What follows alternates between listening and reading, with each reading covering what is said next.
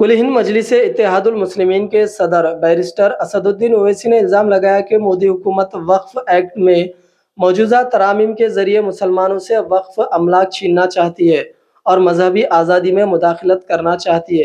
Press conference से खिताब करते हुए उन्होंने कहा कि वक्फ एक्ट में तरामीम के मौजूदा बिल पर मीडिया रिपोर्ट से पता चलता है कि हुकूमत वक्फ बोर्ड की खुद मुख्तारी को कमज़ोर करने और वक्फ अमलाक से मुतल तनाज़ात का फैसला करने के अख्तियार एग्जेटिव को देने का इरादा रखती है। हैदराबाद के रुकने पार्लियामेंट ने वक्फ बोर्ड के अख्तियार को महदूद करने के लिए मौजूदा तरामीम के लिए मरकज़ की। बीजेपी जेर क़्यादत एन डी हुकूमत पर तनकीद की। बैरिस्टर असदुद्दीन ओवैसी ने तनाज़ात की सूरत में वक्फ अमलाक का सरवा करने की मौजूदा तरमीम पर सवाल उठाया। उन्होंने कहा कि अगर किसी जायदाद पर तनाज़ा है तो अदलिया फैसला करती है। सियासी एग्जेटिव तनाज़ात का फैसला कैसे कर सकता है? मजलिसी का रुकन पार्लियामेंट ने इल्ज़ाम लगाया कि मोदी हुकूमत वक्फ अराजियात के सर्वे से तनाज़ा पैदा करना चाहती है। किसी जायदाद को मुतनाज़ बनाने के लिए वो सर्वे करेंगे और लिखेंगे कि वक्फ जायदाद नहीं है। उन्होंने निशानदेही की कि कई मसाजिद और दरगाहें हैं जिनके बारे में बीजेपी और आरएसएस का दावा है कि वो मस्जिदें और दरगाह नहीं है।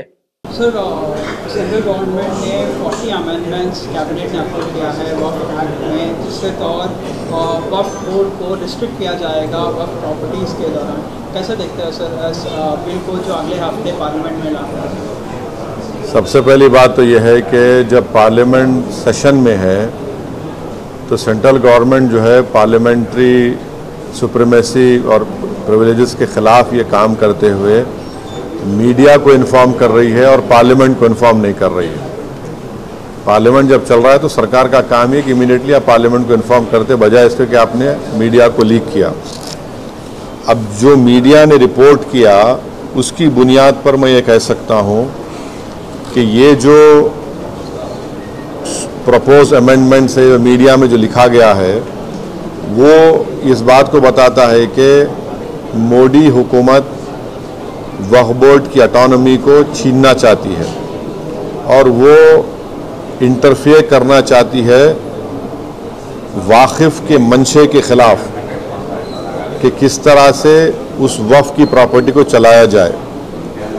और ये ख़ुद फ्रीडम ऑफ़ रिलीजन के ख़िलाफ़ है नंबर वन दूसरी बात यह है कि बीजेपी शुरू से वक्फ बोर्ड्स और वफ की प्रॉपर्टीज़ के ख़िलाफ़ रही है और इनका एक हिंदुत्व का एजेंडा है आरएसएस का एजेंडा है कि वो शुरू से वफ प्रॉपर्टीज़ को और वफ बोर्ड को ख़त्म करने की कोशिशें करती रही हैं।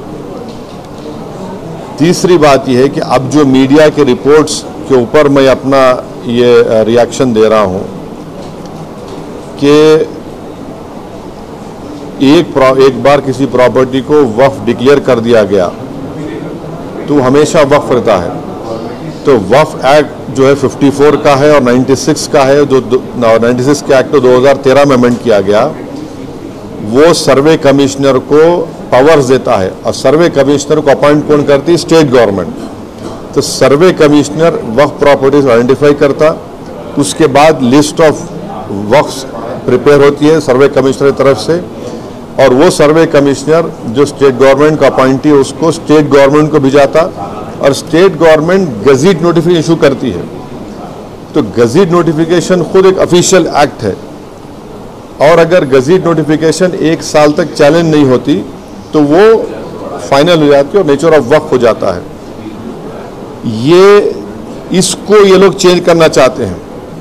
यानी जो पहले से वफ हो चुकी हैं प्रॉपर्टीज़ अब दोबारा उनको स्टैब्लिश करना पड़ेगा कि ये वफ है। ये इम्पॉसिबिलिटी है। दूसरी बात यह है कि गजीट का जो कंक्लूसिव नेचर है, उसको आप आप डाइल्यूट करना चाह रहे हैं। माने अब कई लोग वफ की प्रॉपर्टीज़ में इंक्रोचर्स है। इलीगल तरीके से वहाँ पर है। तो इनको एक मौका मिल जाएगा कि वो वफ प्रॉपर्टीज़ को बोलेंगे कि हमारी प्रॉपर्टी है वफ की प्रॉपर्टी नहीं है। और कोई भी प्रॉपर्टी में ये झगड़े होते कहीं ना कहीं तो उसको एक एक एक एनक्रोचर्स को एक मौका मिल जाएगा। तीसरा न्यूज़ रिपोर्ट ये बोलता है कि अमेंडमेंट इन इस्टेब्लिशमेंट और कंपोजिशन ऑफ़ वक्फ बोर्ड तो ये एक्ट खुद ये बोलता है कि हर स्टेट में एक वक्फ बोर्ड होना चाहिए और बोर्ड रिस्पॉन्सिबल होगा उसके एडमिनिस्ट्रेशन और मैनेजमेंट ऑफ़ वक्फ प्रॉपर्टीज़ के लिए। अब अगर आप अमेंडमेंट करेंगे establishment and composition of Waqf board में तो एक एडमिनिस्ट्रेटिव क्यास होगा loss of autonomy Waqf board का होगा, और ये गवर्नमेंट का जो कंट्रोल है वक्फ बोर्ड के ऊपर गवर्नमेंट का कंट्रोल बढ़ेगा तो वक्फ के इंडिपेंडेंस पे एक बहुत बड़ा असर पड़ेगा।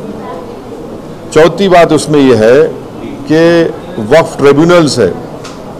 अब ये जो मीडिया रिपोर्ट ये बोल रहा है कि गवर्नमेंट इन ट्राइब्यूनल्स को डाइल्यूट करना चाहती है। अब ये ट्राइब्यूनल्स के पावर्स को डाइल्यूट कर देंगे तो फिर ये केसेस का क्या होगा? इनफेक्टिव इन्फोर्समेंट होगा। पांचवी बात जो मीडिया रिपोर्ट्स के ऊपर मैं बोल रहा हूँ आपको, इसमें लिखा गया कि अगर कोई डिस्प्यूटेड प्रॉपर्टी है तो डिस्प्यूटेड प्रॉपर्टी का ये लोग बोलेंगे नहीं प्रॉपर्टी डिस्प्यूटेड है, इसका सर्वे हम कराएँगे। अगर कोई प्रॉपर्टी डिस्प्यूट है तो उसका फैसला जुडिशरी करती। यहाँ पर मोदी हुकूमत डिस्प्यूट क्रिएट करेगी, उसका सर्वे कराएँगे। अब सर्वे एग्जीक्यूटिव कराएगा या सीएम कराएगा, या बीजेपी पावर बीजेपी कराएगी। अब ज़ाहिर नतीजा क्या निकलेगा आपको मालूम? तो ये भी एक तरीका है, उस डिस्प्यूटेड प्रॉपर्टीज़ को डिस्प्यूट डिस्प्यूट बनाना पहले फिर सर्वे कराना उसका और सर्वे में रिपोर्ट लिख देना कि नहीं, ये वफ नहीं है। ऐसे कई मस्जिद दरगाहें हैं हमारे भारत में जहाँ पर बीजेपी आरएसएस ये क्लेम करती है कि वो दरगाह और मस्जिद नहीं है। तो जो पावर जुडिशरी का है, वो एग्जीक्यूटिव छीनना चाह रहा उसको। और और एक बात जो मीडिया रिपोर्ट्स के मालूम ये हो रही है कि अब कोई कब्जा करके इंक्रोचर है तो वक्फ बोर्ड को पावर है, उसके पावर्स को अगर आप छीन लेंगे तो फिर पूरा ये तो लॉस होगा वक्फ प्रॉपर्टीज़ का। अच्छा उसमें एक और मीडिया रिपोर्ट में बात आई है amendment to the process of Waqf board ये जो वाकिफ होता है वो अगर मेरी प्रॉपर्टी में बोलते हैं वक्फ बोर्ड को मैं दे रहा हूँ मैं वफ कर, वाकिफ हूँ मुतवली मैं रहूँगा किसी और वो आप बोले, वो भी नहीं रहेगा। तो बेसिकली ऑल इन ऑल ये जो है, ये पूरे, इस तरह का अगर ये मीडिया रिपोर्ट सही है तो मोदी सरकार ये चाह रही है कि पूरे वक्फ बोर्ड की प्रॉपर्टीज़ को छीन लिया जाए, इनको मुसलमानों से छीन लिया जाए, और वो थटन कर रहे हैं वक्फ की प्रॉपर्टीज़ का जो कंट्रोल है वक्फ बोर्ड्स के ऊपर। ताकि उसमें तमाम लीगल एम्बिग्यूटीज़ पैदा हो जाना और इससे और वक्फ प्रॉपर्टीज़ का नुकसान होगा।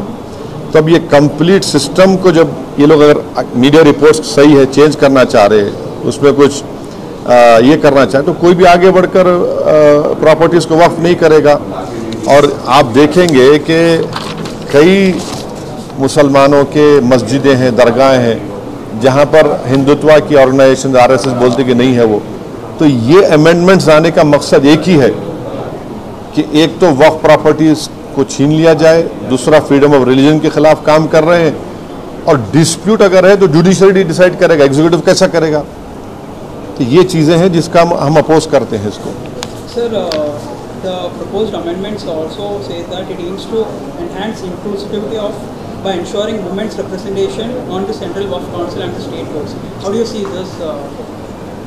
this is the real reason of doing it is not that. The real reason is a interference in freedom of religion and the reasons which I have just mentioned to you. Sir इस bill के ज़रिए state में और central में जितने भी problems है land में ये सारे मसाइल हमें हो जाएँगे क्या कैसा क्या हल हो जाएँगे क्या- क्या क्या हल देखिए उसमें आप मीडिया रिपोर्ट पढ़े उसमें जो डिस्प्यूट है प्रॉपर्टी में उसका सर्वे कराएँगे आप कौन होते भाई सर डिस्प्यूट है तो जुडिशरी डिसाइड करेंगे। आप कौन होते करने वाले उसको? आप आप होते कौन आप? पॉलिटिकल एग्जीक्यूटिव डिस्प्यूट के नाम पे इंक्वायरी कराएँगे। वो तो जुडिशरी करना चाहिए। मकसद एक ही है कि वक्त प्रॉपर्टीज़ को मुसलमानों से छीन लिया जाए। ये इनका जो शुरू से आरएसएस कोशिश कर रही है। इनका आरएसएस बोलती आ रही सत्तर साल से बीजेपी उससे पहले जनसंघ बोलती आ रही है। तो ये तो डायरेक्ट सोचना पड़ेगा, ये जो अलाइज है बीजेपी के, क्या वो मुसलमानों के वक्फ प्रॉपर्टीज़ को छीनना चाहेंगे? जो पॉलिटिकल पार्टीज़ बीजेपी को सपोर्ट कर रही है इनको सोचना चाहिए। क्या होगा बिहार में? इमारत शरिया की जो जायदादें छीन लेंगे क्या आप? आंध्र प्रदेश में वक्फ प्रॉपर्टीज़ है, क्या करेंगे? छीन लेंगे क्या आप उन लोगों को? ये तो उनको सोचना चाहिए, लोग जो सपोर्ट कर रहे हैं बीजेपी को। सर इसी सरकार में बिहार से नीतीश कुमार भी जुड़े हैं मैं बोल दिया ना अब यही बात रिपीट मत करो जो बोल जो नहीं बोला पूछो आप Sir, will you appeal the India Bloc Alliance to oppose the bill? No, no. See, I have I have said what I have to say. It is for uh, I cannot speak for other political formations or political parties.